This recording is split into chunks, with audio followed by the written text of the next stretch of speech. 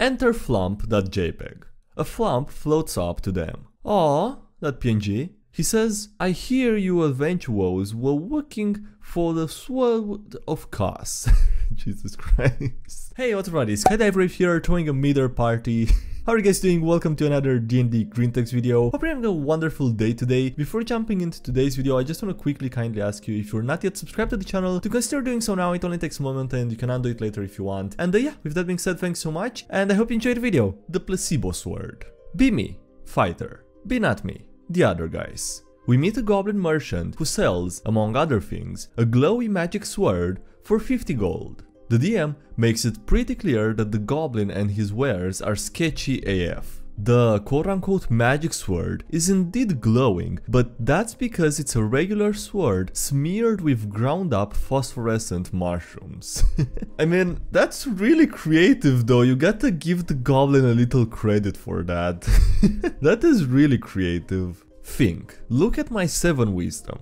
I asked the DM if I can roll an insight check because I figure that I'm dumb enough to fall for it. The DM agrees. I roll a 1 and minus 2 for a total of minus 1, of course. No, but you see guys, we're dangerous heavily armed adventurers. Surely this goblin wouldn't risk antagonizing us, so that means it must be legit. IRL, everyone loses it. In-game, the other characters kind of shrug and figure it's my money, so it's my problem. I buy the sword, and later there's a big fight. I proceed to roll stupidly well for the entirety of the fight, I miss basically no attacks and I crit the boss twice in one round. Clear MVP. Wow guys, this sword is amazing. What a bargain. I know it's a really short story, but that was really good roleplay from the fighter, I just want to point that out. How the cleric won our whole nautical campaign in one turn. Just finished fighting a bunch of pirates and took over their ship. It's only sinking a little bit and we only burned the mainsail and put a 10 foot wide hole under the waterline. Hey, that was a pretty easy fight. None of us even really got hurt. Nice. The DM starts cackling and starts unhiding a bunch of things on the Roll20 map. Eight great big tentacles thrust forth from the water and latch onto the ship, trying to grab anyone on the deck. My face when it's a colossal kraken. Wizard, which is me, gets a natural 20 on initiative and then flubs a damage spell and it doesn't even connect. Face, the sorcerer, swims down to talk to it and fails to persuasion it into eating our enemies instead. The local murder hobo, the fighter, lines up a big attack but isn't able to swim close enough yet. The rogue, which is the Roge, coerces some surviving pirates into loading one of the anti-ship ballistae on the board and then fires it at a tentacle and then only rolls like 12 damage lol. the cleric goes last and takes a minute to read her spell sheet. Hey DM, can you have it make a wisdom saving throw? Uh, sure. That's uh 13. Okay, then my spell works. What spell? The cleric's mic was broken, so this was all happening through some combination of Discord text chat, playing telephone with the sorcerer who had his own headset and was sitting in the same room as her, and Roll20 commands. The cleric pastes the spell description into Discord. It's mother Geas. Nice, so you're probably going to tell it to Lee. I cast it at 7th level, so the command lasts for one year. what? Jesus Christ. oh, goddamn, okay. What command do you tell it? Keep it simple, please. There is a pause. Destiny called, fate stretched out before us, and we could all feel the weight of history about to be made. Discord. Cleric is typing. I suspect the DM started sweating. Protect us. And that's how my party now has a Leviathan is our pet guard dog. That's gonna get interesting after a year passes and the command wears off. I am curious how that's gonna play out, but um, yeah, that's gonna be fun for a year. I guess a really good, you know, way this could go would be if the Leviathan just dies protecting the party. That would solve an issue, that would solve a later issue.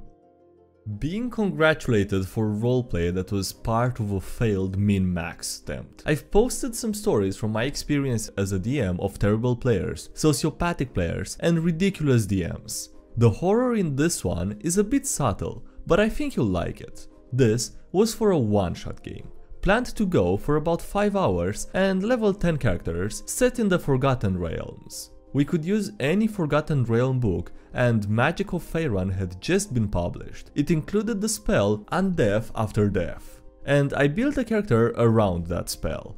The spell brings you back as an undead creature, the most generic undead ever after you die, and it costs 2 points of constitution to use. Start with 9 constitution.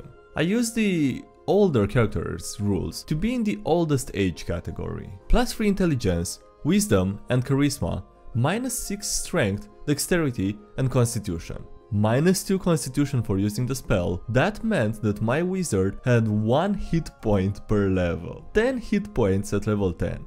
The game was max health per level, so the barbarian had 150 hit points. The plan was simple. The moment my character takes one solid hit, he's going to die, but then immediately come back as a crypt spawn. He'd have no constitution score, and undead meant d12 hit dice, so he'd have 120 hit points and be immune to a lot of things that usually kill wizards. Except he didn't die. Through all the combats, I played him like a cautious old wizard making creative use of his spells to avoid danger and hinder enemies. Not cowardly, but also not suicidal. We completed the module and everyone is thoroughly congratulating me on being the first person they've seen play an old character in a believable manner. I couldn't bring myself to reveal that my hope had been for him to get splattered in the first combat. oh god, oh god. I mean, it didn't go as planned for the min-maxing wizard, but it went well for the party, so that's what matters, right? My players fell for a trick that they should have known was a trick. Be me, the DM, be not me, Earthbending Monk and Gunslinger. We are in the middle of a large city owned by a corrupt tech company whose backstory is too long to write here. The PCs are going after the Sword of Kas to defeat the owner of the company who is a leech. Enter flump.jpg. A flump floats up to them. Aww, that PNG. He says, I hear you adventurers were working for the Sword of Kas. Jesus Christ. They listen. He then says, would you like to buy it for 2 GP? My players, oh so dumb, take him up on the offer because it's only 2 gold. Enter a time skip. My players attack the now godlike leech who has ascended because his tech was so great. They jab him with the Sword of Kas and it breaks on impact. And it turns out that it was fake. And then my party ran away from the big bad evil guy to kill a random flump. TLDR, my players run from God to kill a flump that scammed them. This is actually kind of incredible that they believed it. I mean, it's wh what the Without even the slightest sign of doubt or, you know, questioning it or anything. No, just straight up, yeah, this seems fine. I'm going to become a literal Egyptian plague. Me a recently leveled up level 7 druid. Be talking to the DM about my possible new summons. Ask about Chwingas. Not only legal, but the DM loves them. I go read about charms. Some are actually really freaking busted by the way. Charm of the Swollen Hag for example. This charm allows you to speed up a frog as an action. The frog understands you and obeys your commands and once used 3 times, the charm goes away. Not temporary summon, no beast tag replaced, it's just a frog. A real frog. But they're gonna die by the cold, my DM says, because we're in an arctic setting by the way. Charm of the Snowwalker. My frogs are safe around me. I start to calculate how many frogs can fit in a 15 feet radius. Up to 49 squares, but only 48 considering my PC as at the center. Considering how frogs are tiny, we can say you can fit 4 on each square. Probably more, but let's give it the benefit of the doubt. They're chunky ones or something. 4 times 48 is 192. I can have up to 192 frog friends around me 24-7. I have a new goal for my character. a town called Tinder. Bimi, barbarian, playing in a 5th edition homebrew campaign in Eberron. Be not me. Necromancer, Druid, and Ranger. The Necromancer recently got a big plot hook to go to a huge battleground. The Boneyard. Bones of powerful fallen warriors literally everywhere. Necromancer teleportation circles us in and the DM describes verdant green pastures, but if you look closely, the ground is lumpy.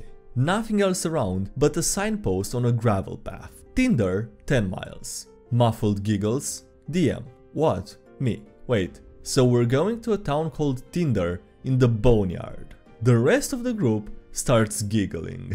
oh god damn it. I didn't even... A bit later, we come across a gnome merchant who tells us that the town was burnt down every time they elected a new mayor. They really should have swiped right, says the druid. Yeah, it looks like it was too hot to handle, says the necromancer. All stops to the bone zone, says the ranger. Fuck it, I'm retconning it, and it's now called Graveltown. You know, you gotta appreciate that the DM made an attempt there. He didn't, it's, I feel bad for him, because he didn't even notice it beforehand. I just need this to be known. Today, one of my players rolled a crit with a Vorpal Sword against a Dullahan. Gunk moment. Bimi, level 4 Harrigan Gunk, which is a monk with a gun.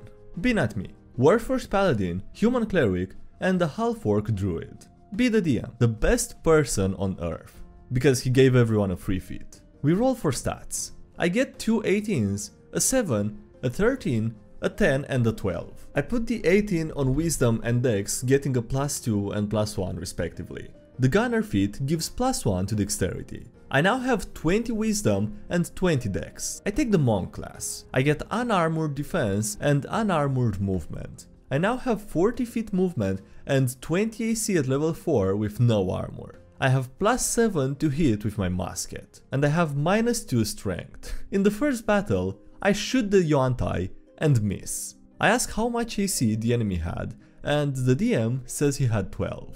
I roll a 4, plus 7 that's 11. Well, sucks to suck, says the DM. Next turn, I attempt to jump in the air to do a 360 no scope. I roll a 1 to hit. My gun falls to the floor and breaks. After the battle, and I'm in a town where I spend the entirety of my starting gold on a new gun. Proceed to one-shot the Wormling boss that the DM made after getting major buffs from the party. Gunk is the best class. ah, my liver. BDM running a boss fight of sorts. Make a joke about having eggnog if someone rolls a natural 30. Add that if I roll a natural 1, take a shot. Literally next roll I make, take a shot. the boss fight continues and it goes fairly well for the party. My rolls when attacking the party included 3 natural 1s in less than 10 rolls.